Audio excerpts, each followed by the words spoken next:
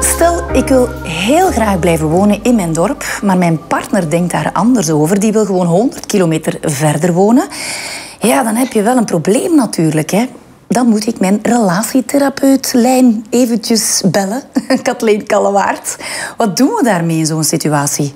Ja, Um, ik denk dat het belangrijk is van uh, in het begin van de relatie uh, jouw doelen al voor een stuk uit, uit te schrijven um, en te bespreken met jouw partner. Mm -hmm. Natuurlijk, uh, we evolueren allemaal, we groeien, persoonlijke groei en dergelijke. En dat kan eventueel zijn um, dat we binnen tien jaar een ander doel hebben dan op vandaag. Ja, want dat verandert natuurlijk ook. We veranderen als persoon, maar die ja. doelen kunnen soms ook helemaal de andere ja. richting uitgaan. Hè? Belangrijk is natuurlijk om samen te groeien. Mm -hmm. Dus als je samengroeit in een relatie, um, zal je relatie ook veel sterker zijn. Um, en kun je tegen een duwtje uiteindelijk.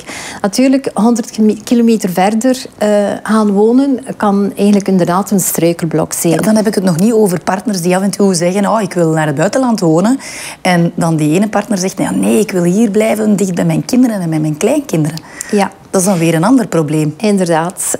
Um, natuurlijk Um, als je samengroeit als partners, um, denk ik dat je toch wel een beetje op dezelfde lijn zit. Mm -hmm. Want anders denk ik dat de relatie niet blijft bestaan. Nee.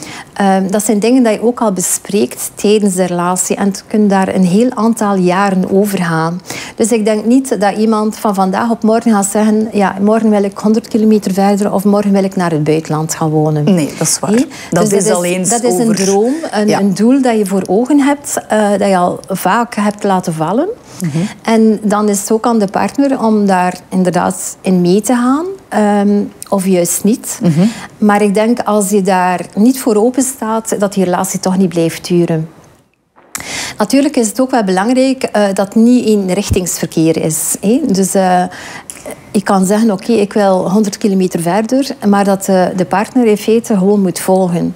Ik denk dat er daar tegenover ook iets moet staan. Mm -hmm. um, en ik denk als ze daar een evenwicht in vindt en een oplossing in vindt, dat dat zeker moet kunnen werken. Niets moet natuurlijk. Niets moet, inderdaad. Nee. Um, mensen die bijvoorbeeld naar het buitenland willen, um, dat is ook oké. Okay. dan kan je zeggen, oké, okay, we gaan een paar maanden in het buitenland en we komen een paar maanden terug in België. Ja. Dan is er terug een evenwicht in de relatie. Ja, absoluut. Dus uh, ik denk als je een goede uh, connectie hebt met elkaar, dat dat zeker mogelijk is.